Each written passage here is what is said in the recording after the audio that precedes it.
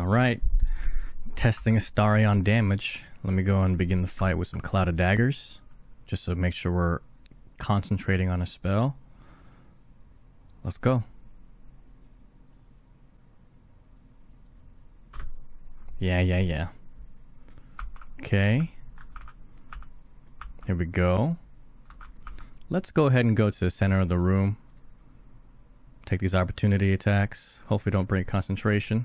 Nice. Just want to make sure we have advantage in all our attacks. Okay, let's begin. So, so far we've done a little bit of damage with Cloud of Daggers. Slashing Flourish number one. Okay, she's almost dealt with. Slashing Flourish number two. Boop boop. Cool, cool. Do a little action surge here. Slashing Flourish number three. Boop boop. Slashing Flourish number four. Boop boop. Offhand attack. Offhand attack. And we still have one more slashing flourish left. So if I was hasted, I'd be able to do another slashing flourish, killing pretty much four high HP targets. That's pretty damn good, to be honest. Shit. Yo, what's going on with y'all, man? Hey, we back at you again with another video guide. And this time we are making the ultimate bow user. And we're going to be dual wielding hand crossbows because dual wielding hand crossbows is kind of crazy in this game, okay? Um, and as you saw, it is not your normal ranger because we actually, uh, for the final build, we don't actually go into any ranger levels at all. We will be starting off as a ranger because while you're playing through the game, just starting off as a ranger is just easier to play uh, than a than a bard you know, if you just want to do damage. But later on, when we get to the final part of the build, I'll show you, you know, the multi-classes, what spells to get, the items to get, how to play the build, and all that kind of stuff. But for now, we're going to go through the level progression uh, and how you're going to be playing throughout the game, early, mid, and late. All right, so first, let's start off as a ranger at level 1, you know what I'm saying, as the bow user in the group for your favorite enemy. I like to go Ranger Knight, so you have proficiency with heavy armor. This means now you have proficiency in light, medium, heavy, and shield. So if you if, if your party has any extra gear, you're you'll probably be able to wear it. So I like to go Ranger Knight just to be all around. You know what I'm saying? And for the Natural Explorer, I like to go Poison. It's pretty easy to find fire and cold resistance throughout the game. You know, there's a, there's, there's a short bow called the Dark Fire short bow, which gives you fire and cold resistance um, if you don't want to dual wield hand crossbows. Uh, but you can also go urban urban tracker to get proficiency in sleight of hand. The thing is, you can already get proficiency in sleight of hand because uh, it comes with it. And of course, we're going to use our boy Astarion for this for this demo because he is supposed to be the dexterity guy. You know what I'm saying? Uh, as far as, far as the stats goes, if you're not going to use the hag hair, uh, I would I would recommend getting 16 dexterity because that is our main damage stat. 16 wisdom because as a ranger that is our spell casting modifier. Get a little bit of constitution for a little bit of HP, and the rest you can put into intelligence because you don't really need strength or charisma. At least not yet for this uh, starting build. As far as the abilities go, again you should already proficient uh, be proficient in sleight of hand. Uh, as a dexterity user, and I want to make and because you are the, the, dexterity user, you want to make sure you're proficient in stealth as well. Stealth is very, very good in this game. If you don't know, now you know. You just got to use it right. And of course, um, I just picked up survival and animal handling because that was a that was the theme of uh, uh, of this build because uh, because you have a little bit of wisdom. Um, so perception, survival, and animal handling are pretty relevant in the game. You know what I'm saying? So that's level one. Level 2, we're going Ranger again. And this time we're going to get some Ranger spells. And of course, the cream of the crop, Hunter's Mark, very classic D&D Ranger spell. That you want to use this as a bonus action. You want to always be concentrating on this pretty much. Um, and then it just puts a little bit of more damage, uh, especially uh, all throughout the game especially early game. So you want to make sure you pick up Hunter's Mark. This is your concentration spell. You want to concentrate on this all day, every day. And then the next spell that I would choose is Long Strider because Long Strider actually does not use a spell slot. It is one of very few uh, spells in the game called ritual spells, and you pretty much just want to cast this on yourself and every single party member, and it doesn't. It's free movement speed, free movement speed for combat, very useful. Long Strider, get it. And of course, the fighting style that we're going to choose is archery because we are a bow boy. Okay, so that's level two. Level three, we're still going to go Ranger, and we get another Ranger spell. Again, I would choose Enhance Leap. It is another ritual spell. It doesn't last the whole day like Long Strider does, but it does last. You know, there there there are some points in the game where your team does not have enough. Uh, jumping jumping speed or jumping distance this will give you it for that little for that little uh, moment and then you'll be able to jump through you know, uh, from a cliff to another cliff. It's very useful, again, and it's another ritual spell, so it does not cost a spell slot.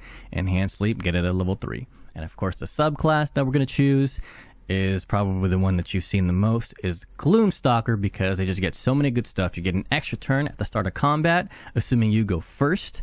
Uh, you get more even more dark vision. You can pretty much just see everything all around you in the underdark or everywhere in the world.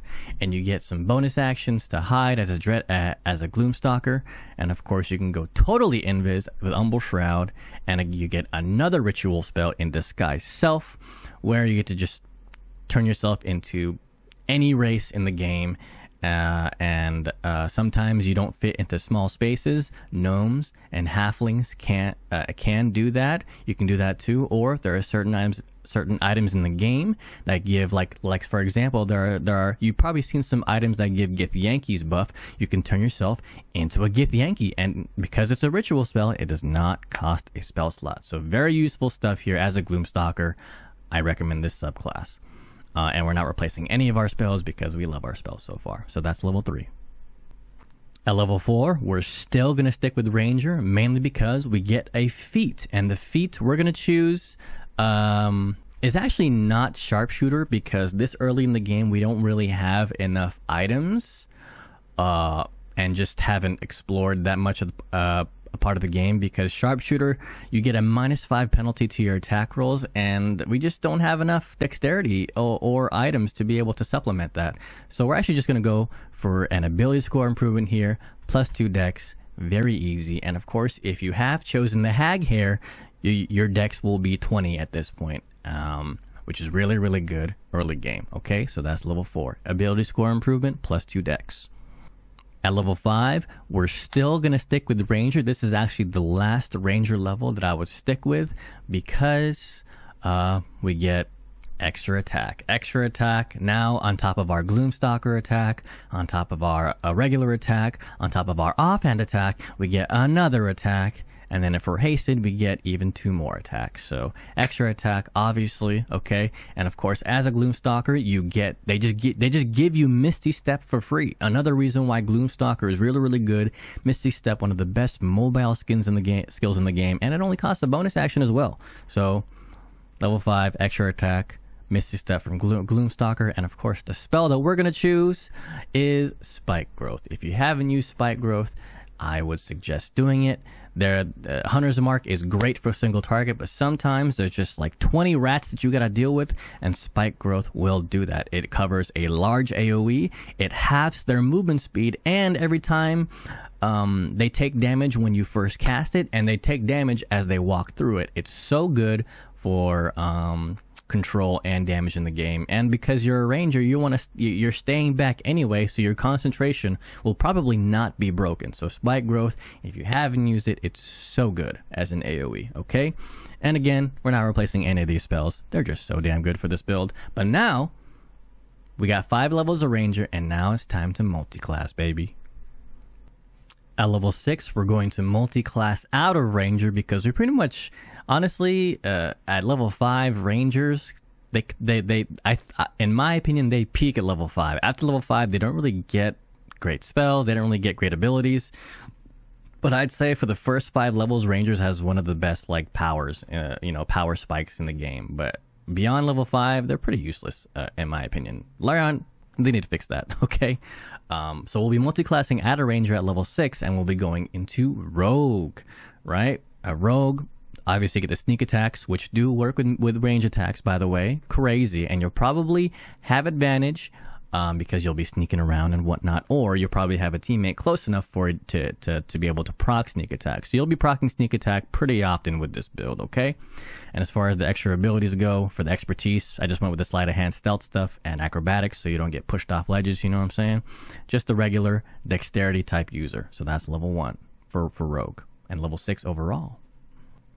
At level 7, we're going to go another level into Rogue, level 2 Rogue.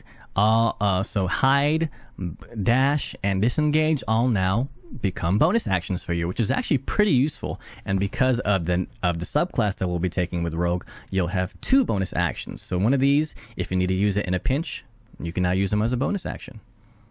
And that's level 7. We're taking two levels of Rogue. At level 8, we'll be taking another level into Rogue, and this time we'll be taking the, yes, you guessed it, the Thief subclass. The Thief subclass is just, I mean, it's just OP. it's OP because of one, because it only gives one thing, but that one thing changes the game so much, and that's, of course, Fast Hands, which is basically another bonus action. So you, you will, if you need to disengage, you now have two bonus actions. You can disengage for your bonus action as being a rogue. You could run away and then fire another attack as a bonus action with your offhanded uh, hand crossbow. Crazy, okay? Uh, you're probably going to see a lot of builds with um, with thief in it just because an extra bonus action and of course fighter with that action surge and extra action action economy in this game is how you rule in combat and thief just has that. Okay, you have it for free every turn, all all day, every day. Level eight, level three rogue, subclass thief. All right. At level 9, we're actually going to stick with one more level of rogue because we want that feat at the fourth level of every single class. And the feat that we're going to choose um, is not ability score improvement this time because at this point your dex should already be 20 either through the hag hair or through an item that, I'm, that I'm going to show you a little later. Um, but of course, the feat that we're going to take is sharpshooter, which ha- does have a minus 5 penalty to your attacks, but if your attacks do land, that's a plus 10 damage to every single attack. And with this build, you're going to be attacking a lot per turn. Okay, so um, the minus five. Uh, by now, at level 9, we should have items, we should have things, we should have, uh, our teammates should be casting stuff like Bless on us at this point in the game. So at this point, uh, the minus 5 penalty shouldn't really matter. And of course, we'll be, uh, now, we have access to a certain item that will give us advantage on all our attacks, which we're going to talk about in a little bit. But now at this point, at level 9, Sharpshooter is definitely the feat that I would take. You're going to add so much damage to, uh, to your... Uh, to your output, and uh, it is such a spike once you get here. But now, next level at level 10, we're going to totally respec, and um, I will show that in just a bit. Alright, so like I said, once you reach level 10 with this build, it is time to respec into a whole nother class. And what is that class? It is Bard. It is in fact Bard. The Bard is actually a better ranger than the ranger, and will but it doesn't it doesn't get there until we reach level six with Bard. So let's go through it. One to six with Bard. This is what I would do. Level one, boom, pick Bard, and they still have proficiency with hand crossbows and light armor, which is what matters most. And as far as the cantrips that I would choose, Vicious Mockery, it gives, if it lands, it gets a disadvantage to on the opponent's attack roll. Pretty solid there. And then I would, whatever here, for the second cantrip, just choose whatever you want. I chose Friends because Friends is very useful in dialogue. And uh, as you can see, we're getting Charisma with this build, so you might be uh, the second face of the group. So having Friends is pretty nice. Other, otherwise, if you already have someone that has Friends, and if you already have a talker in the group, then just get whatever you want. Mage Hand is very useful for throwing stuff around. Light is very useful for, for those who don't have dark vision. Um, and uh, yeah, and and as far as the race, uh, I don't really go over races in these builds because race doesn't really matter too much uh, because they don't they don't give uh, ability score increases like normal D and D. So I would just say pick the race that you that you want to look like. I, I make most of my uh, we're using Astarion here obviously, but most of the the race that I choose the most is Tieflings because or half orcs because Tieflings and half orcs look look cool as hell and that's pretty much just for aesthetic. Yes, they give some some things that may or may not help the build, but for the most part, it doesn't really matter as far what, what race you want to go. You know what I'm saying? So pick what race you want. Uh, as far as the spells that I would choose as a level one bard, Longstrider again, ritual spell. Disguise Self again, ritual spell. Uh, and uh, I just chose Healing Word here just in case because we have two bonus actions because we will be multi-classing into Thief again. If you, if your team needs it, then throw a Healing Word out there as a bonus action. Someone might need it. You never know, or to pick up a down teammate, right? And as far as the last spell, I, I would recommend a concentration spell. A Faerie Fire is good, but we already have attack rolls uh, as advantage for this build because of again a certain item that we'll talk about later. So I went with Bane because you probably already have someone in your party group casting Bless on you guys. Having someone cast Bane on the enemies is pretty damn good as well. They get minus four penalty, minus one d4 penalty to their attack rolls and saving throws, which could be a game changer. You know, you don't really see people casting Bane too often, so you could be that one. You know what I'm saying? So boom. And the starting instrument, if you're not choosing a hand drum, then what the hell is wrong with you? Okay, hand drum is clearly the coolest, all right? As far as abilities go, uh, you want to get your dex as high as possible. Again, if you have the hag hair, put it to 17. But if you're in a party, you probably won't be put it to, uh, so I put it to 16 for most scenarios. And instead of wisdom being our spellcasting modifier, charisma is our new spellcasting modifier. So we want to bump charisma as high as possible, which is 16. And then the rest points you could put in wisdom, just so you can boost your abilities here, which is going to be survival and perception. Otherwise, just choose stealth. Make sure you're proficient in stealth. Make sure you're proficient in sleight of hand, acrobatics too, so you don't get shoved off. And of course, if your team needs a face, you can remove all this shit and put it all into the into the charisma stuff. It's just whatever your group wants. But for my group, we already have a talker, so I went for survival, stealth, acrobatics, and sleight of hand. So that's level one with Bard. At level 2, we're still sticking with Bard. Uh, and then level 2 with Bards, you get some pretty cool stuff like Jack of Trades, which means you add half of your proficiency bonus in all ability checks that you are not proficient in. So if your team needs that, if your team is, is lacking uh, uh, somewhere in the ability checks, you could step in and do that for them. And of course, you get Song of Rest, which is a extra short rest you get. Uh, and if you're playing one of those campaigns that are pretty hard, um, which this game isn't hard to be honest, but you can add rules to make it hard for yourself. Like if you're soloing the game, this could be very, very helpful. Song of Rest, super useful. You could save some camp supplies there. And the spell that I would choose, I I like Thunderwave, not because of the damage, but because it it can push things away. And pushing in this game is pretty good, especially there are so many fights where you can push an enemy off a cliff, instantly killing them no matter how much HP they have. So I recommend getting Thunderwave. Also, uh, you are a range build and you have disadvantage against targets that are near you. So you don't you don't want targets near you. So you want uh, to be to keep them away. You want things like Thunderwave. You know what I'm saying? Another good spell that I would choose is Sleep. It is not a concentration spell, and you could upcast it to put targets to sleep as long as their HP is low enough. But for me, I like Thunderwave. I like pushing things away, and that's level two as a bard. At level 3, as a bard, we are going to choose our subclass. And what subclass do we choose? College of Swords. And the reason why we choose College, of Swords is because of this. Flourish. And the flourish that we'll be focusing on is slashing flourish for the ranged because you get to attack two enemies at once. And by the way, you can attack the same enemy twice. And it only counts as one attack. So this is the reason why we are not being a ranger. We're being we're gonna be a College of Swords bards because of this, because they actually deal more damage than rangers do. And of course, it costs an action and a bardic inspiration. So you are not going to be the kind of bard that supports the group. Uh, really, you want to. You're going to be a damage bard. So all your bardic inspiration is not going to be used to inspire teammates. At least most of the time it's not. It's going to be used for you to use as slashing flourish ranged, okay? You can use the other stuff. You know, you can teleport, blah, blah, blah. You can add, add a forward to your AC in, in, in tight situations. These are useful, but for the most part, 99% of the time, you're going to be using, you're going to be doing damage and you're going to be using slashing flourish to, be, to, to, to do two attacks in one. Crazy, okay? And the spell that I would choose as a slashing flourish bard uh, ranged is hold person. Hold person is very good. uh, if you do successfully hold a hold a humanoid, that all attacks against them are crit attacks.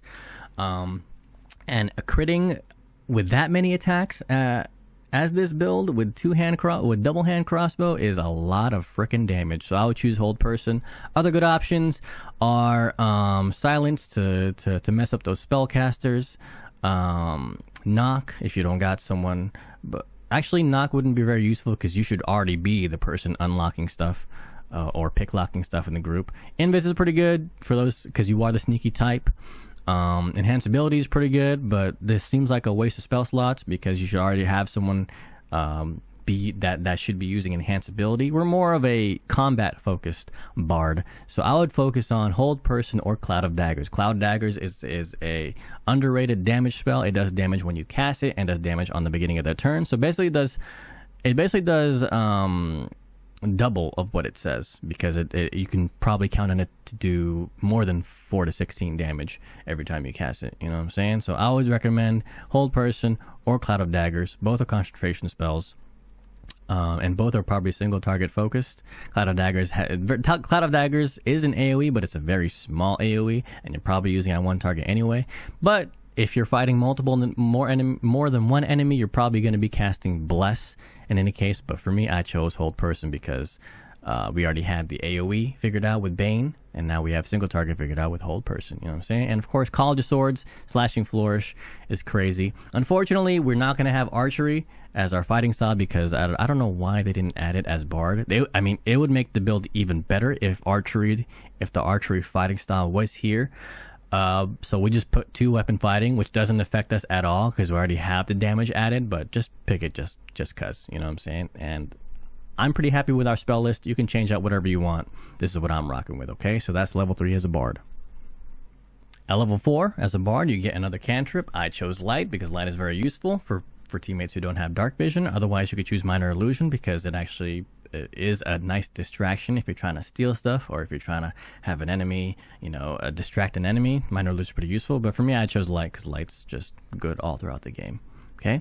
As far as the spells go, uh, I actually didn't think any of the level 2 spells were pretty useful, so I went with another ritual spell, Speak with Animals. It does not cost a spell slot, and uh, because um, you're probably, because you're the ranger, rangers are normally the, the animal handling person in their group, so I'm going to speak with animals just so I could talk to animals. But for you, uh, and that and that's just because the the spells that you'll be that, that you'll be concentrating on are probably Bane or Hold Person anyway. Any of this stuff is not really that much better. So I chose speak with animals. But for you, just choose whatever you want. Okay. And of course, the feat that we're going to go for now is to bump our dexterity as soon as possible. To, and of course, the hag here, this should be 20, but if not, it's 18, and that's all good. At level 5 with Bard, we get another Bardic Inspiration, which, which means another Slashing Flourish, which means another two attacks that we can do in a round, okay? Uh, and of course, um, this build does use, so every fight you're probably going to be using all your Bardic Inspirations. Um, and luckily, as a level 5 Bard, your Bardic Inspirations are now available after a short rest. So, um, be- and that's why we can't really start off with this build early. We have to respec into it at level 10 because early game you don't have enough Bardic Inspirations and you don't have enough items to make the build pop. Uh, but now that we're respecing into it, we get all the good stuff immediately, such like Font of Inspiration, which re- which um, replenishes all of our Bardic Inspirations after a short rest, and you should be taking a short rest after every fight anyway. So this is very, very good with this build. And as far as the spells, we have now unlocked level 3 spells, and the spell that I would choose for this build is Hypnotic Pattern. If you haven't used Hypnotic Pattern before, it's pretty crazy, especially if you're a range. It, it covers a huge AoE, okay? And of course you can control where the aoe goes. And you can pretty much cast it. If you're if you're in a fight most likely you'll be able to cast it on all of the enemies. And it basically um it basically shuts their turn down shuts their whole and this game is all about action economy and if you can shut down 10 enemies turns that's a whole nother round for your team to do whatever they want and of course you can cast this even when you're silenced uh, sometimes you get silenced. Not, not really that much, but yeah. I chose Hypnotic Pattern. Other good spells are Glyph of Warding. It is not a concentration spell. It is uh, just a random spell, but it's pretty much like a... You could turn it into a fireball and uh, or an ice version of it, acid, whatever. Glyph of Warding, definitely one of the underrated spells in this game. Uh, but for me, I like to do damage with my range attacks because they just do more damage. But Glyph Warding, if you need some AoE, then then, then use Glyph Warding. For me, I, I like shutting down my opponents, and Hypnotic Pattern definitely does that. Another good spell is Fear.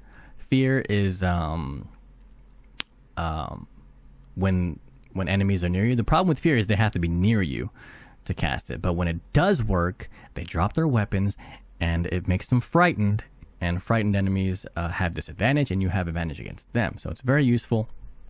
Another good one is Bestow Curse, but the thing about Bestow Curse is you have to touch an enemy and you normally don't ever want to be in melee range with this type of build anyway, so I wouldn't really choose this. So for me, it was Hypnotic Pattern, but for you, do what you want, man. You know what I'm saying? And that's level 5 as a bard. At level 6 as a bard, this is a very important level because at level 6, we get some cool stuff like another spell. I chose Glyph Warding, like Counter Charm, which lets us have advantage on saving throws against being charmed or frightened, which happens quite a bit in this game. Okay, the, uh, especially the frightened part. But the most important thing that we get at level six as a bard, as a College of Swords bard, is extra attack. Yeah, I don't know. They get it at level six instead of level five for some reason. But extra attack. This means um, every turn, without haste, without action surge, we can make two slashing flourish attacks. Okay, with one action.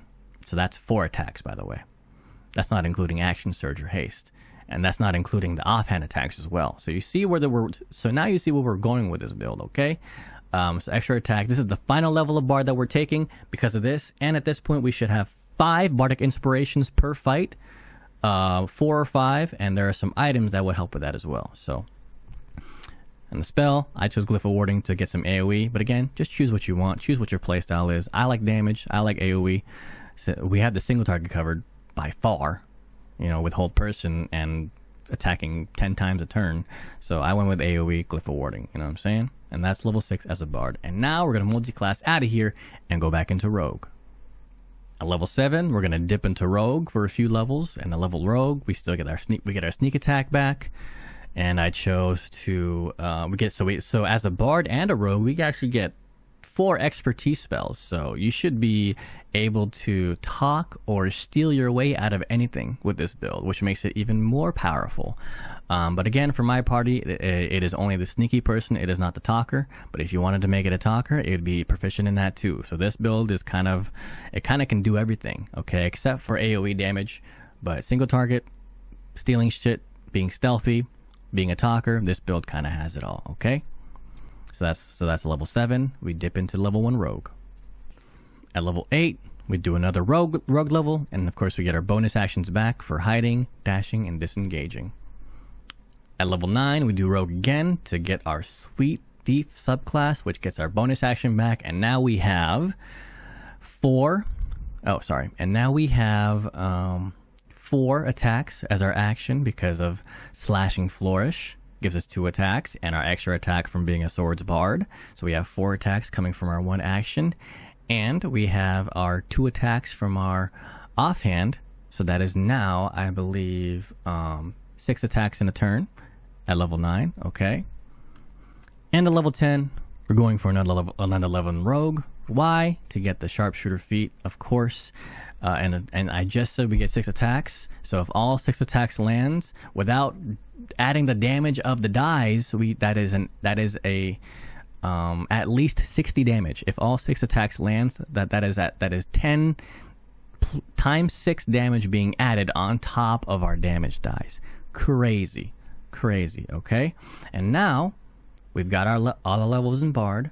We got our all our levels in Rogue, and our final two levels. You probably know where I'm going because we want to attack more.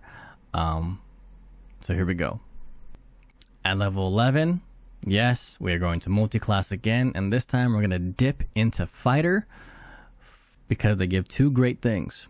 At level 1, they give Archery, so we have Archery back, plus two dam plus two bonus to range weapon attacks, which we're going to need if we're going to land our sharpshooter attacks. Okay, and of course, at level two, what do fighters get? They get action surge. And what does that mean for us? Well, I'm about to, I'm about to show you in a second on how to play the build, but that means in one action, with slashing flourish and an extra attack, we can attack four times. Okay? So this means in an action surge, we have two actions. Each action gives us four attacks. That is eight attacks, not including our offhands. If you include our offhands, that is 10 attacks. And if you are hasted, that is another four attacks. And if you have an elixir of bloodlust, that is another four attacks. See, it's kind of, it's kind of crazy. and of course, if you have another bard in your party, they can give you an extra bardic inspiration to help because you don't you don't actually have enough bardic inspirations to do all this. But if you had an extra bard in your party, you do, which is fucking crazy. Okay, so now that you know how to play the build, I would actually so once you get to these levels, once you get to level 11, I would respec and actually put your first level into fighter because fighters have profic- fighters have proficiencies with everything. Okay, and um, one of the uh, uh, there are a couple pieces of armor that we're going to need to use with this build. Like medium armor that bards and rogues don't get. So once you get here, I would actually start off as a fighter, and then do the do, do the six rogues, the four, uh, the, the six bards, the four rogues, and then finish it off with fighter two uh, getting our 12th level, and now the build is complete. And now it's time to show you guys the items that I chose to use with this build. Okay. All right. So these are the items that I recommend for this Bardish Bow Boy build. All right. Um, so for me, I went with a crit build because I figured, okay, hand hand crossbows kind of have a small damage die. Um, yes, if the sharpshooters all hit, it does a lot of damage, but I want to do I want to do even more damage. Can I? So I wanted to see how much crit that I could stack with the build. Okay, so I made this a crit build to just make it do even more damage. And as you saw in the opening of this video, I pretty much crit on almost every single hit. And how did I do that? Let me show you. We're gonna start off with the helm. Sarevok's horned helmet. Um, there is, and I'm going to try to explain these items without spoiling anything, but there is an NPC in Act 3 that, um, that, that, that you can kill. He's pretty strong, and his, his name is Sarevok, okay? And this helmet gives you um, minus one to crit. So you need one less roll to crit on each attack, and this effect can stack. When I saw that this effect can stack, that's when I got the inspiration, the bardic inspiration, okay, to do this build. And we're going to use this stacking effect as you can see. So I'm just going to show the i am going to show each and every single item and you'll be able to see on how much I, I'm able to stack this effect. And this is, as far as I'm concerned, this is the best item, the best helm that does this. There are other helms that do it, but you need to be hiding. For example, this, I think this is the earliest helm, the Covert Cowl. This does the same thing, but you need to be obscured. You need to be, you know, kind of hiding. Okay. Uh, another helm that does this is the Dark Dark Justiciar helm, which you can find in the in the Gauntlet of Shar. All right. Um, but for me, I chose this one because it stacks. Another really good option, though, if you don't if you don't want to do the whole stacking crit thing, another good option is actually Diadem of Arcane Synergy. So this this you can get at the Creche for the Githyanki's uh, Lae'zel story, and this gives when you inflict a condition, which is all the time. Uh, for example, uh, being paralyzed is a condition, which you can do. Uh, critting someone is a condition. Um, most of your bardic bard spells afflict uh, affect a condition, so you pretty much have arcane synergy all the time, and your weapon attacks deal additional damage equal to your um, spellcasting modifier. Okay, and your spellcasting modifier is your charisma, so that's plus three damage that you're adding to each hit. So if you want to, if you want a more consistent damage, then I'd recommend using this. I used this for a very long time until I decided to, to, to switch it to a crit build. Each one is good though. Each one is good, but I wanted to make a crit themed build, so this so I chose to use Sarevok's Helm. Okay, so bang. Um, and yeah, these are optional items. Like I said, you can get these fairly early, and that and I would choose those. Another um, another pieces of gear that I that I'd recommend as well is um, the helmet of grit. It gives you an additional bonus action, which gives you an additional attack. But you, uh, you this build is pretty squishy, so I would not recommend this helmet. But if you're one of those players that, that one of those players that love being a glass cannon, you could use this. Another good one is um, Mask of Mask of Soul Perception. This gives you plus two bonus to attack rolls, initiative, and perception checks. So uh, this will help with sharpshooter because it gives you a bonus to attack rolls. And you want to make you really do want to make sure you go first with this build so you can land your your hard hitting hits and position yourself in a place to where you won't get hit to break your concentration on your stuff. Right. So this is pretty good too. But for me, I chose the crit helm, Sarevok's helm. Okay. That leads me to my next item, the Shade Slayer Cloak. You can also get this in Act 3 at the Guild Hall on one of the kitty vendors. Um, while hiding, the number you need to roll to crit is is reduced by one.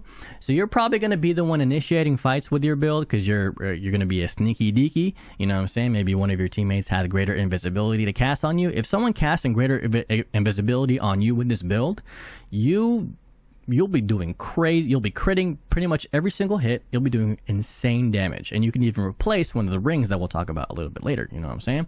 But I chose to use this just because I wanted to stack that crit as as much as I could but if you don't want to use this, you can also use the Cloak of Protection, which is pretty much you can consider this best in slot for every single build because it gives you plus one AC and plus one saving throws, and that's just super good for defense. But for me, I like damage, I like critting, so I chose Slade, Shade, Slayer Cloak. Okay, the chest the chest is a little confusing, I know, um, but the reason why I'm wearing this is because I chose to use, to use the hag hair on someone else, which is Will. I chose to use the hag hair with someone else in my party. So because of that, I didn't have max dex. And then in order for me to get max dex was I had to put this on, which gives you plus two to your dex and advantage to all your all your ability checks, and that includes sleight of hand, stealth, um, to, to your dexterity ability check, sorry, and your acrobatics. So I was never shoved and I was never. Um, it was very easy for me to stealth around, and it was very easy easy for me to pick locks and disarm traps. Okay,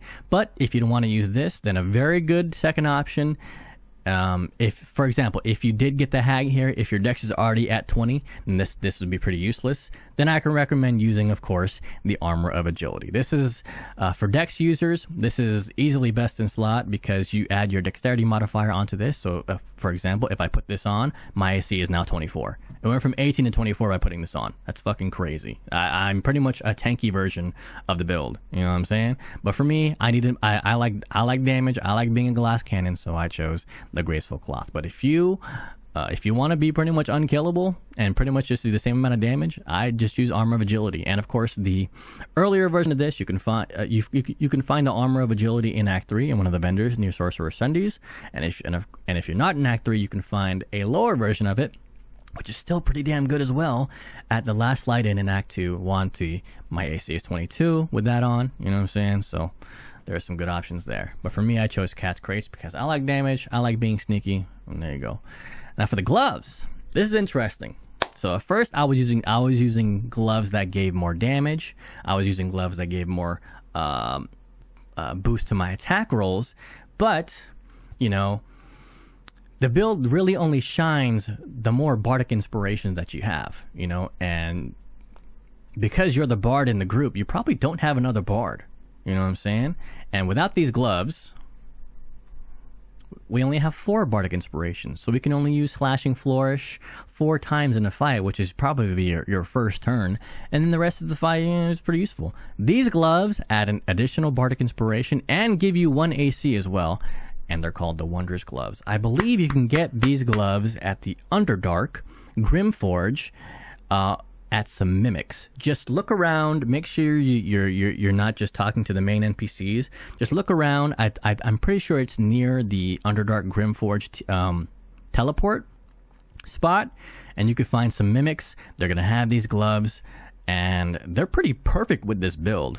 Okay, they're not only perfect for, for bards, but for this build in particular, it's really good because this this this means you have another slashing flourish as part of as part of one of your turns, and it gives you one AC. So this gloves very very good. I recommend these, and I pretty much wouldn't change it out for anything else. Okay, as far as the boots go, same thing here. I found these boots. Where did I find these boots? I forgot where I found these boots. Listen, if if, if you want to know where any of these items are that I'm explaining in this guide just Google them. This is not that type of guide, you know what I'm saying? I'm just showing you guys what items to use and, and what items that I recommend. Um, but I recommend these boots because uh, in a fight, in a long fight, you're pro- you're probably going to be out of bardic inspirations pretty fast. Okay, if it goes past like three turns, so you want you want ways to restore your bardic inspiration, and there aren't many ways to do that outside of combat. But you can do this inside of combat, I believe. Play yes, you can, uh, and I've definitely used this in, in, in combat. So boots of brilliance, best of slot. These two are I'd recommend, even though these two don't really give damage, they kind of do in, in, in a passive sense because they help with your bardic inspirations, and your damage comes from bardic inspirations. You know what I'm saying? So Wondrous gloves, boots of brilliance, very good items for this build. I'd recommend them. And if you don't want to use them, you can just use near boots that give you Misty Step. You can use those Dimension Door boots to give you move, to give you another mobile ability. You can just use damage gloves. You can use attack gloves if you don't want if you don't like these. But for me, I found that not only were they good for the build, but they fit thematically. You know, as a Bard Ranger, they fit very nicely. So I like these items. Okay, okay, and for weapons, so these are stat sticks. We're, we're never going to be in melee range using these, so I wanted to choose some stat sticks. And I chose Knife of the Undermountain King. This is available at the Creche pretty early in the game. You can get this in between Act 1 and Act 2 if you follow Lae'zel's story. Um, and again, it, it stacks the crit thing. The wielder scores a crit when rolling a 19, okay? and this goes lower and lower and lower the more we stack it.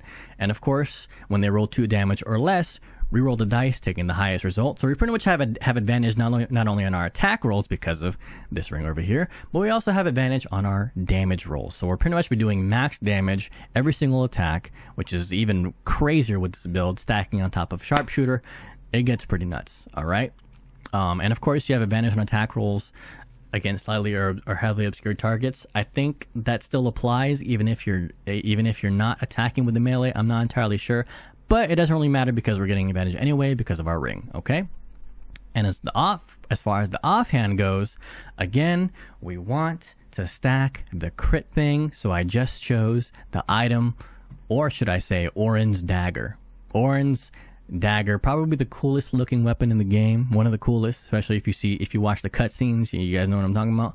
Um, it just has the crit thing. We're just trying to stack the crit, so we make sure we crit on every single attack. You know what I'm saying? And it looks really fucking cool. You know. Uh, and now let's move on to our main weapons. The Hellfire hand crossbow. This can be obtained in Act Two in the in the Gauntlet of Shar. You know the Balthazar, uh, the Balthazar thing. Raphael even gives you a quest to go kill uh, this guy named Yurgir Okay, and he drops this hand crossbow, which is um, very very good. It's just uh, I believe it it is the rarest hand crossbow in the game. I could be wrong on that, but of course the high, the rarer they are, the more the more enchanted the weapon is. I mean, and we're looking for these because the more enchanted they are, it's plus one to it's it's a boost to our attack rolls and a boost to our damage rolls. We're not really concerned with using with using scorching ray we're just more we're just more concerned with it being as rare as possible. Okay, and of course, uh, you, can burn enemies because you're probably uh, going to be hiding or invisible while you're attacking. So very good weapon, definitely best in slot as your main hand. And for your offhand, uh, you you want to pick up the Near Misser. This is also in Act Two. This can be obtained in one of the Moonrise Tower vendors. I think her name is Roah Moonglow. I think. Sometimes I wish they would say on the item where you bought it and who you bought it from. They should add that. But anyway, this is definitely your offhand, uh, and and it it actually replaces your normal damage with force damage. And force damage, um, it, I would say it's the best damage type in the game because there are very very very few things in the game that are resistant towards force damage. So when your main hand isn't doing much, turn to your offhand and bang bang that bitch. You could even switch it if you want. You know what I'm saying? And do that. Um, but there are also things that are vulnerable to force damage in the game. You know what I'm saying? So uh, this makes this very useful. And again, it comes with magic missile. I wouldn't really use it though. I would just use your, your attacks. Your attacks are where the damage is, okay? And um, now let's move on to our amulet. So because we are a crit build, because we're stacking crit, um, we'll probably be, be critting a lot. And when you crit with this amulet, you can paralyze a target.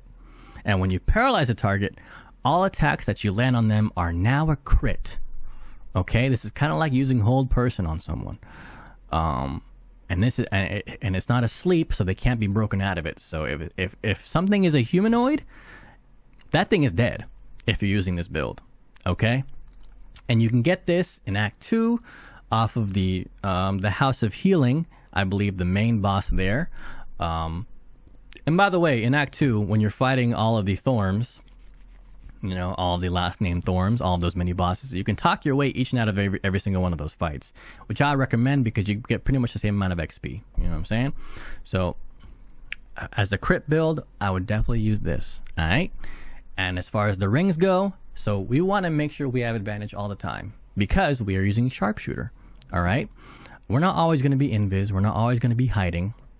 We want advantage every single time. So this is the perfect ring for that. But I but I would only recommend using this ring if you are like always keeping your distance because having disadvantage on saving throws can be really bad sometimes because because you, you if they use spells that stun you that paralyze you that take you out of the fight you're probably going to get affected by those spells so if you're going to use this ring you got to play smart and keep your distance as much as possible. Always hide, always stay away, be out of line of sight, all that type of shit. But and if you don't want to use this ring, then just use a damage ring like uh, like caustic band or something. But I find myself using this ring a lot because um, when when you get advantage on stuff, that means your sharpshooter will land and your your sneak attack will land. So there's there's a, there's a lot of benefits on using this item. But like it says, it's pretty risky. So use at your own risk. Okay? And the second ring that we're going to choose is Strange Conduit Ring. You can get this out of the Creche as well. So yeah, a lot of these items are actually pretty available in Act 2-ish. And this is not an Act 3 build. All right? Um, like most builds out there and like most builds that I'll be creating. okay, but this build is pretty good in Act Two. Okay, and you can get the Strange Conduit Ring from the from the Creche, from the Inquisitor room, in the chest in the middle of the room, I believe. And as a bard, you should always be concentrating on something, whether it be Bane, whether it be um, hold person, whether it be hypnotic pattern, whatever concentration spell you you picked, you should always be concentrating on that during battle. And while you're concentrating on that spell, you get an extra bit of damage from this ring. Okay? So boom. Those are the items that I, can, that I recommend, and those are the optionals that I recommend as well. Okay?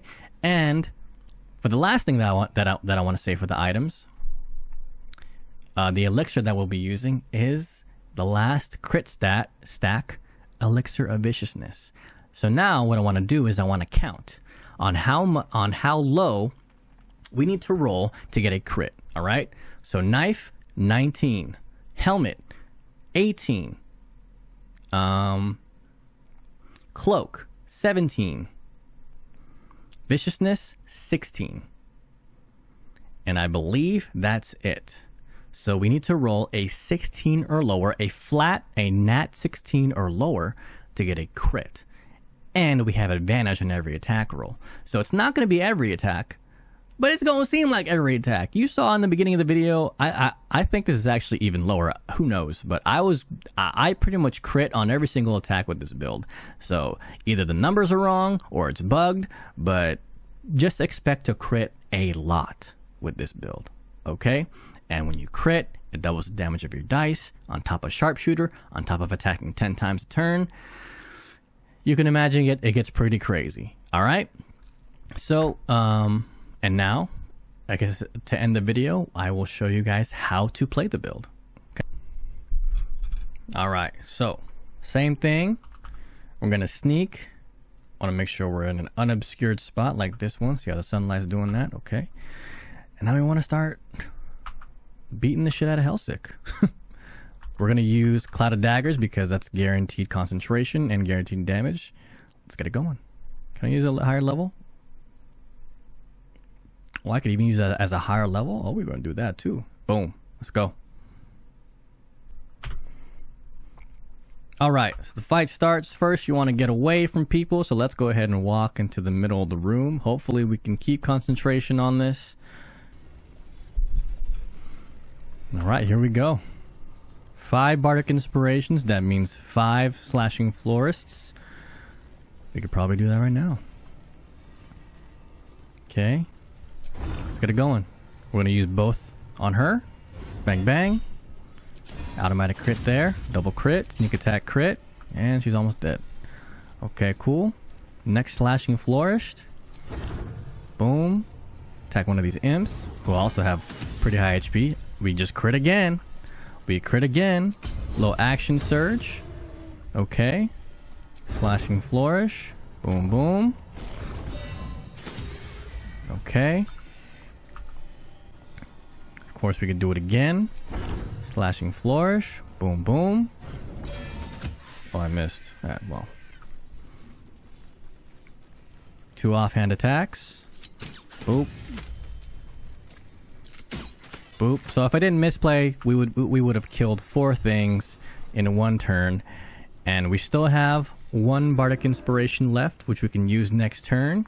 And of course, once we're out of Bardic Inspirations, we can use Restore Bardic Inspirations during combat as well uh, to to do another five slashing flourish, which you'll be doing at this point in the game. Your your team should be so strong, and you should be so strong to where combat isn't really really going to be lasting more than three turns. So, there, that's how you play the build.